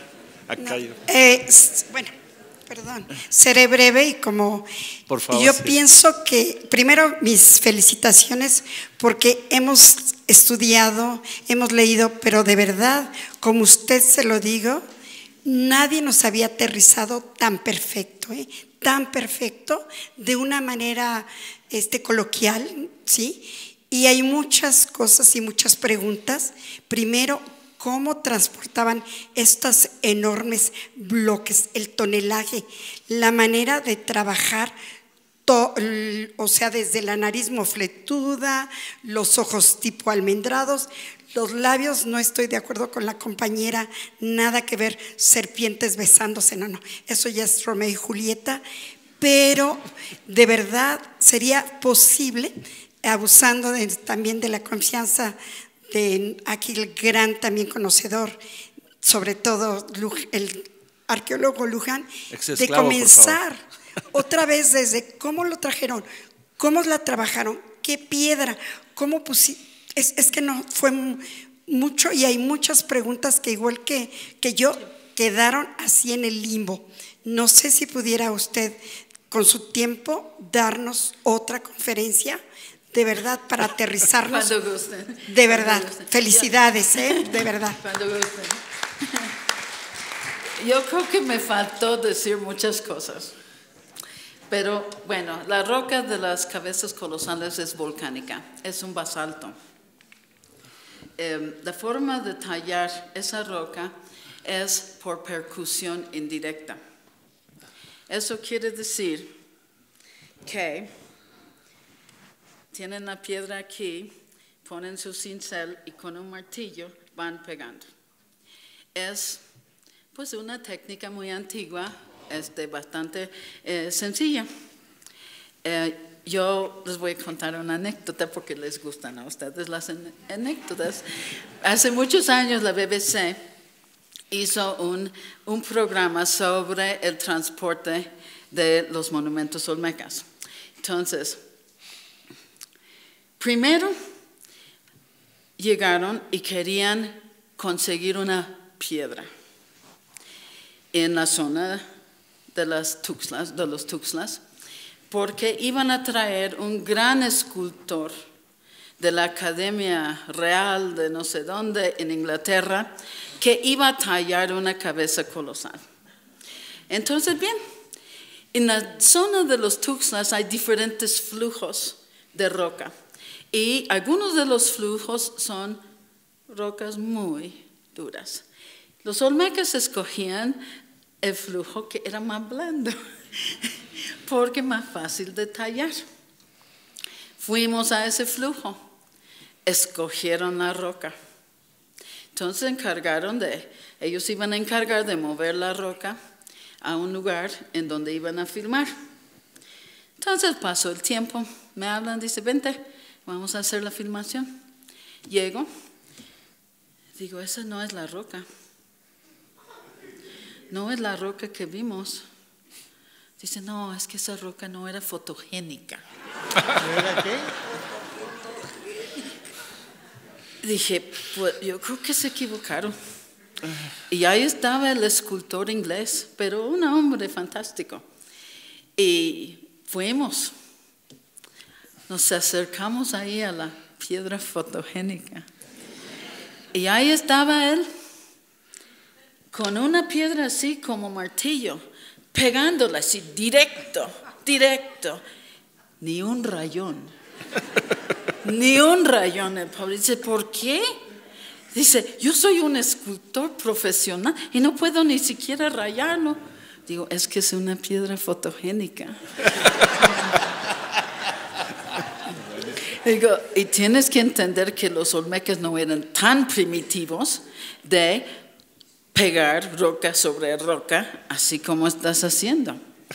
Eh, usaban la percusión indirecta y probablemente este, em, cosas para cortar, ¿no? Hilos y abrasivos para ir haciendo cortes y modificando la forma. Entonces, bueno, ni modo. La piedra fotogénica fue la estrella de- del programa. Pero el pobre escultor que trajeron desde Londres, pues no pudo hacer una cabeza colosal, porque no se fijaron bien en el lugar donde tenían que sacar la roca. Bueno, eso es interesante, ¿no? Que sí, los olmecas sí ponían atención a eso. Muy interesante, ¿no? Este, también nos acompañan aquí en el público mis dos buenos amigos, Andrew Turner y Ángel González, que son expertos en escultura, pero del centro de México. Ah, muy bien. ¿no? Este, le- les damos la bienvenida. Y eh, el doctor Al- Alfredo López Austin, que es mi papá, este, quiere hacer una pregunta.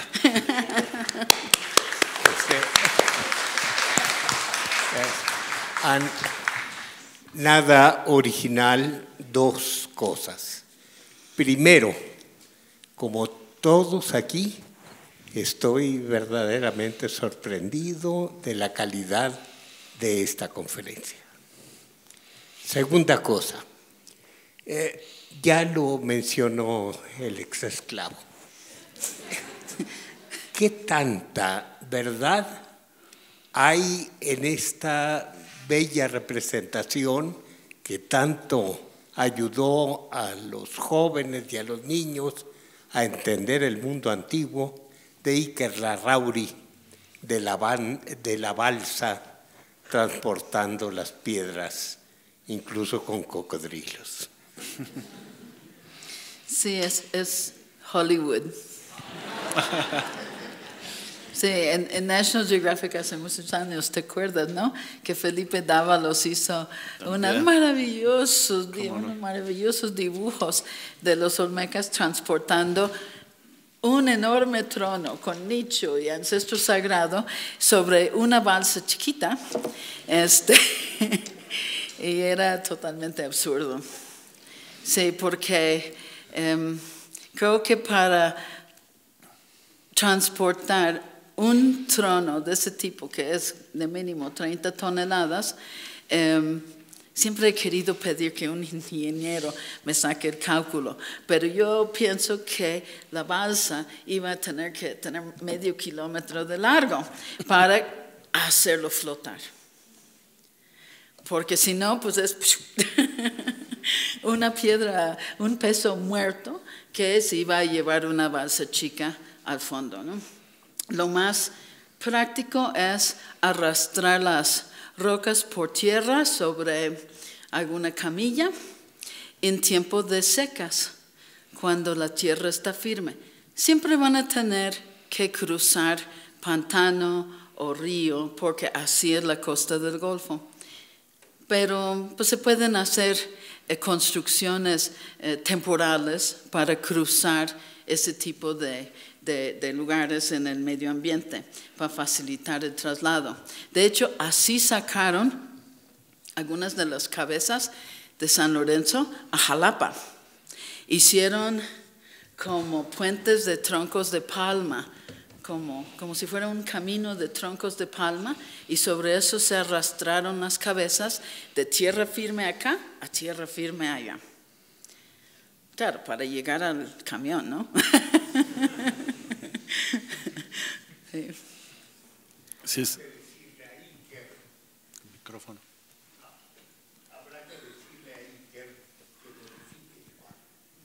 ¿Que modifique qué? Ay, Habrá que decirle a Iker que modifique el cuadro. Ah, sí. No, y, y Ann se refería a otro grandísimo ilustrador mexicano que ha vivido muchos años en los Estados Unidos, ¿no? Felipe Dávalos ha trabajado Sí. mucho para, para Dumbarton Oaks, para Sí, pa- sí, National para Geographic muchos, y aquí sí. para el Fondo de Cultura Económica, ¿no? Sí. Es un Sí, gran, gran ilustrador, ¿no? Obviamente, ¿no? Este, Sí. No, a veces hay algunas libertades, ¿no? ¿no? No, sí, este, por allá tenemos otra pregunta, ¿verdad? Allá atrás. Doctora, eh, muchísimas gracias por la magnífica conferencia. Una pregunta. eh, San Lorenzo quizás es la cuna de la primera ciudad olmeca. Ahí se gestó un encuentro, una serie de cosas que permitieron esa brillante ciudad. Sí. Es, es un lugar que está sobre un lomerío bajo, enclavado en los humedales de la costa sur del Golfo de México, eh, una isla. Yo creo que la importancia de ese lugar en parte reside en el hecho de que fue una isla. Sabemos la importancia de islas y de lomeríos y cerros sagrados rodeados de agua en todo el pensamiento mesoamericano. Eso tenía algo que ver, pero también tenía algo que ver que es un lugar que se puede defender. Es un lugar en donde eh, las rutas de comunicación terrestres y acuáticos este, cruzan. Es un lugar óptimo en el entorno de la cuenca baja del río Coatzacoalcos. Entonces lo que hicieron los Olmecas de San Lorenzo era modelar ese terreno a su gusto. Entonces lo fueron construyendo cada vez más a la imagen de lo que era su concepto religioso de montaña sa- sagrada. Hicieron una gran meseta con niveles de terrazas y una gran periferia, eh, no plano, pero no tan construido, y ahí acomodaron a su población de acuerdo a sus estatus. La élite arriba, mejor, menor estatus en las terrazas, hasta la gente más pobre en la periferia. Entonces ese modelo, eh, concepto cosmológico, regía su vida, porque cada quien tenía su lugar en el espacio y en el cosmos porque era la réplica de una montaña sagrada y tenían que vivir en ello en donde tenían que estar, de acuerdo a su estatus. ¿no? Entonces, es en ese lugar que construyeron enormes casas de múltiples cuartos con drenajes subterráneos. El gobernante tenía un enorme palacio. Bueno, para ese tiempo no se compara con, con pa- palacios más tardíos que acabamos de ver, el- eh, la ciudad prohibida en China, y casi me suelto a llorar del tamaño de, de ese edificio, ¿no? En comparación con el Palacio Rojo de San Lorenzo. Pero para su momento, hace 3.000 a 3.500 años, era, ¿ya? No, no. Ah, era enorme en Mesoamérica, porque era un edificio de 2.200 metros cuadrados dentro de un complejo de más de 13.000 metros cuadrados. Para Mesoamérica, hace 3.500 años, no había otra cosa ni que le llegaba a los talones. Era único. Y todo el sitio es una sorpresa. Como yo le digo a, mis amigos que cuando empezamos a trabajar en San Lorenzo, yo pensé que iba a ser fácil, porque pues ya se sabía grandes arqueólogos habían dicho que era una sociedad relativamente sencilla, em, no muy compleja, eh, que tenía un tamaño de 50 hectáreas, entonces, y que en la superficie se veían unas plataformas de las casas. Dije, pues ya está fácil, yo voy a llegar y voy a excavar las casas, ¿no? Entonces llegué y me puse a excavar esas plataformas. ¿Cuáles casas? No estaban. Dije, espérame, esto va en contra de todo lo que me enseñaron. Entonces dije, bueno, vamos a seguir buscando. No, no eran bases de casas. Digo, pues entonces tienen que estar más profundo. Entonces, excavar para abajo. San Lorenzo tiene una profundidad cultural máximo de 26 metros bajo superficie. Porque toda esa construcción que hicieron, la gran meseta con las terrazas, tiene un volumen de 7 millones de metros cúbicos. Para que entiendan qué quiere decir 7 millones de metros cúbicos, imagínense siete pirámides del Sol. Y eso lo hicieron hace 3.000 a 3.500 años más o menos. Y con un plan, como un plan, un concepto cosmológico y un plan arquitectónico de cómo iban a organizar la gente. Igual la escultura, que es lo que más les gusta, ¿verdad? la escultura se reciclaba, se guardaba, se mutilaba quizás en ceremonias y se guardaba para su reciclaje. Y todo eso bajo el control de los gobernantes. Porque no dejaban que cualquiera tuviera escultura en su casa. No, no, no. La escultura que estaba mutilada iba a los almacenes del gobernante. Y ahí esperaba su reciclaje, porque era riqueza. El basalto era riqueza para ellos. En la venta parece que la riqueza era de color verde, porque eran piedras verdes, ¿no? mucha, mucha piedra verde. Pero en San Lorenzo la riqueza es de color gris, como las cabezas colosales.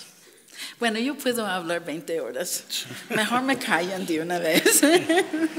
Bueno, a todos los interesados sobre San Lorenzo, lo, repito, los, los invitamos a, a, comprar el número coordinado por Ann Cyphers de Arqueología Mexicana, que en unas cuantas páginas pues tiene da un, a Tiburcio en la portada. Exacto, tiene.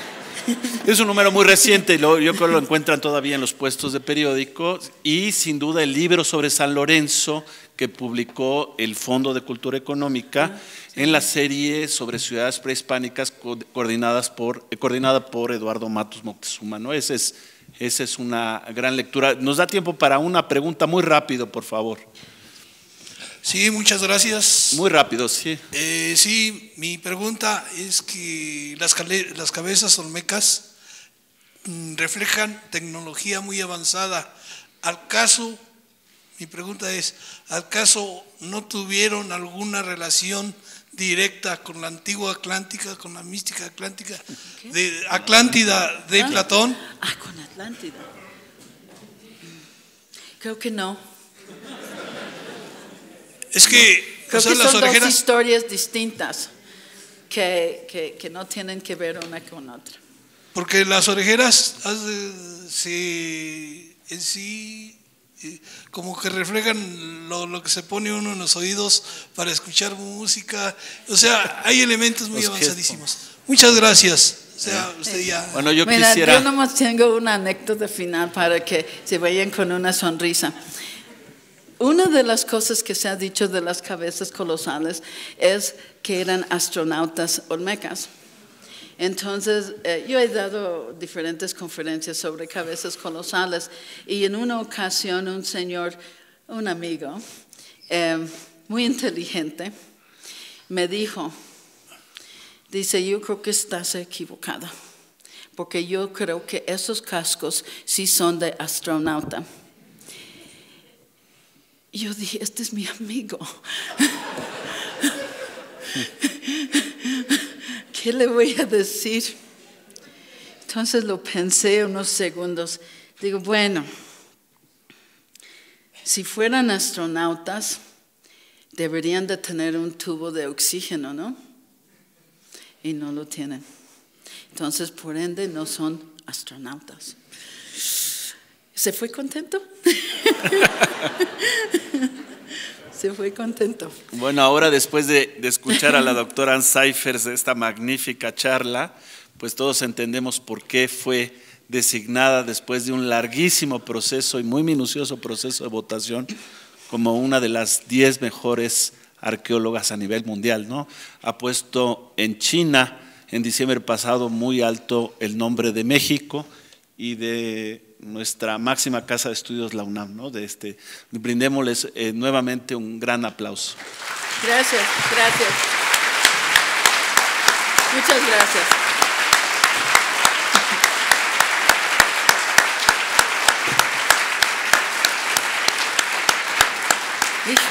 Y simple- simplemente, Son las nueve. sí, no, está, está mal el reloj, ¿no? Yo creo. Ocho, son las ocho, sí. Eh, simplemente quisiera agradecer a todo el equipo del Colegio Nacional, siempre con un alto nivel de profesionalismo, su, eh, la coordinación de, esta, de, esta, de este ciclo de conferencias, a eh, la licenciada Teresa Vicencio, a Mónica López Velarde, a Aide Zavala, bueno, no puedo mencionarlos a todos, allá arriba el ingeniero Franco, que siempre está en los controles, a todos ellos también le- les pido que les demos un gran aplauso y, ¿no?